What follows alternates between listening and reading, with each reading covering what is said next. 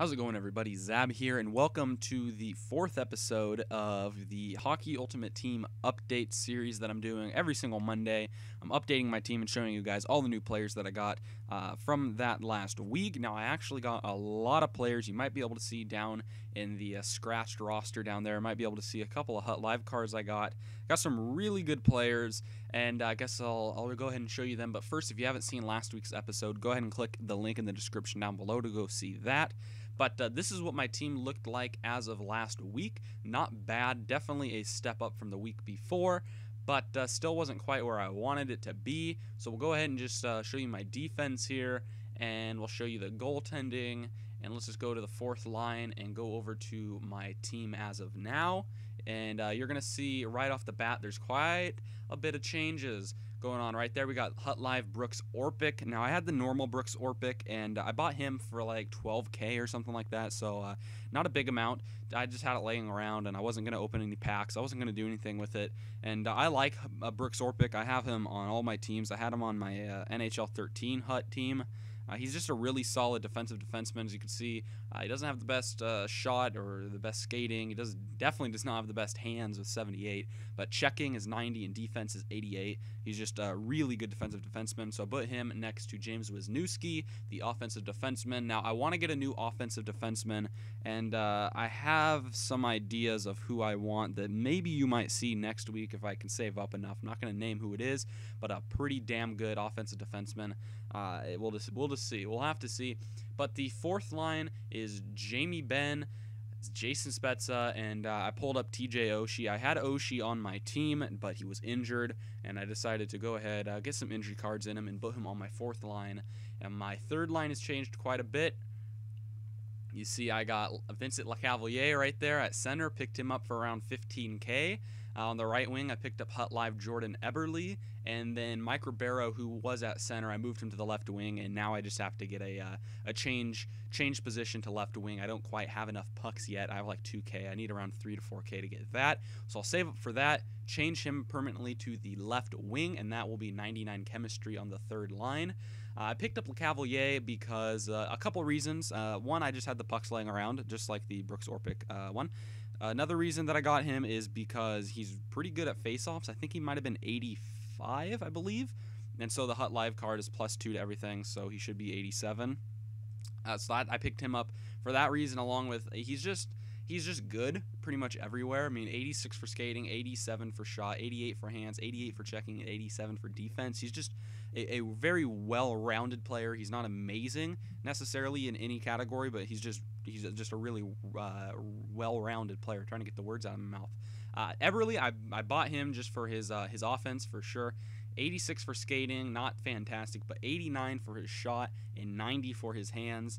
Uh, just loved his offensive stats. So far, he hasn't actually gotten any goals or assists. So zero points. He's played maybe seven games with me and hasn't got anything really for it. But he has got a lot of good chances. Got robbed a couple of times, and I uh, haven't played with him too much, like I said. But so far, I've enjoyed it. Moved to the oh yeah, and then defensively, I think this was the same as last week. Uh, same players. I don't remember if I moved them up or down the line, but uh, Bieksa and Brian Campbell, both two good defensemen. On my second line. I moved Patrice Bergeron down to the second line for a couple of reasons. One, uh, because I might, I think I like my first line center that I picked up this week better than Bergeron.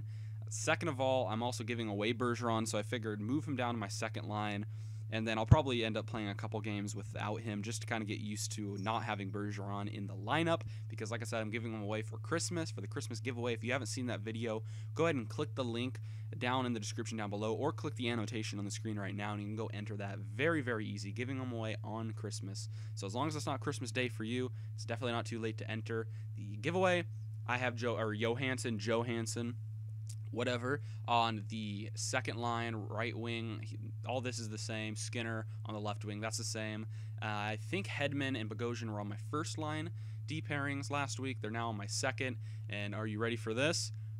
Boom, second line, Hut Live, Ryan Kesler. Now, in the entry video for the uh, Christmas giveaway, I asked you guys to tell me if I should get Hut Live Kesler or a Gaborik, and a lot of you guys actually, I thought everyone was going to say Gaborik, but a lot of you guys said Kesler. Uh, and then I looked back today and I counted it, and most people, as of now, or as of when I'm recording this video, most people said Gaborik, uh, including Don't Be Sod 20. I asked him on Twitter. He said get Gaborik for sure. and that was my plan. That was all my intentions. But I had 70K or 80K in the bank and I was looking at the market and I saw Kesler up for a buy now of 70,000.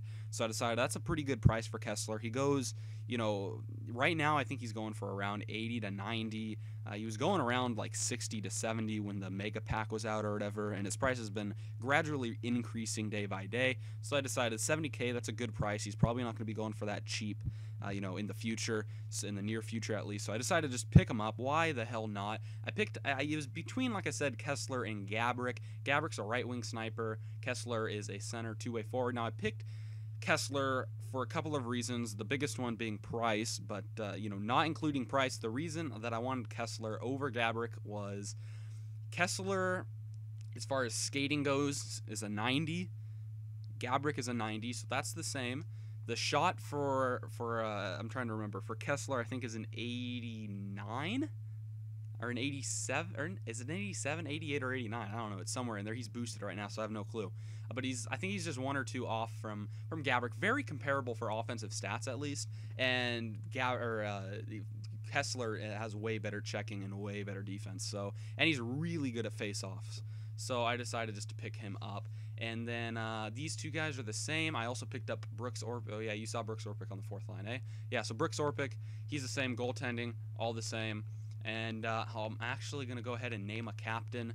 Like I said, I have Bergeron down here. He's my alternate. He used to be my captain, now my alternate. So uh, I'm going to go ahead and name a captain. Trying to decide on the fly. And uh, yeah, I think I made my decision. Apply consumable. Congratulations, Ryan Kesler. You are now the official captain of this team. Bumps him up to a 97. Uh, once those boosts go away, he should be a 91 once all the boosts are gone. I think I might have six or seven, five games left on the duration. So there you go. The new official captain for this team is Ryan Kesler. Alternate so far is Bergeron, and then once he leaves, I'll have to name someone else an alternate. And I'm thinking about next week. My goal is to get uh, some defensemen, like I said earlier in the video, bump up the um, the the D pairings a little bit because right now it's looking a little weak. Orpik's a good defenseman. These two are pretty good.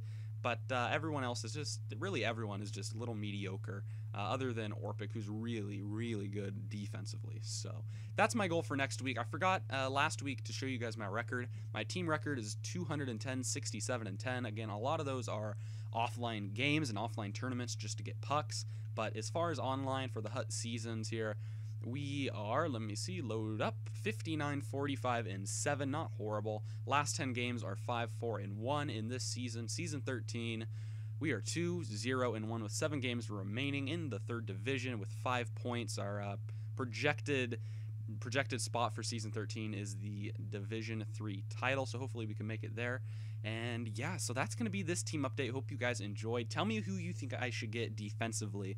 Uh, I'm thinking of spending maybe upwards of uh, at least I'm thinking at least 50k to around 70 80k at most. That's what I'm looking to spend. So anywhere from 50 to 80k Tell me what defenseman I should get. I don't care if he's a two way or an offensive or defensive defenseman. Just uh, tell me who you think I should get defensively, and I will definitely take that into consideration. So, guys, thank you as always for watching. I am Zab.